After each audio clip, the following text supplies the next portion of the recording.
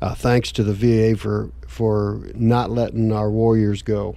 Uh, there's no, No. there's no time stamp on care, and uh, uh, you being a medical professional probably know that better than anybody else. One of my biggest uh, things that I want to fight for. Um, you know, I've been a physician, a private practice physician for 22 years in the Valley. I came back.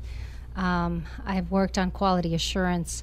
Obviously, during my training, I, I was a medical student and um, I did part, did part of my residency in a VA facility up in Washington State.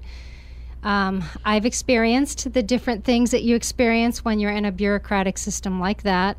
Um, you know, I found that uh, veterans were very, very thankful for the care that they got, everything that they got.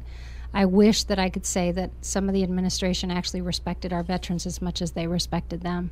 Um, that's something that I will strive for for a very, very long time because I, I think that we do need to change that a little bit. Um, so, in addition, I bring over a decade of uh, working with the Nevada State Legislature on healthcare policy, you know, any law that has to do with healthcare, uh, amending, testifying, and um, I, I'm acutely aware of some of the programs that have worked and some of the ones that we need to amend.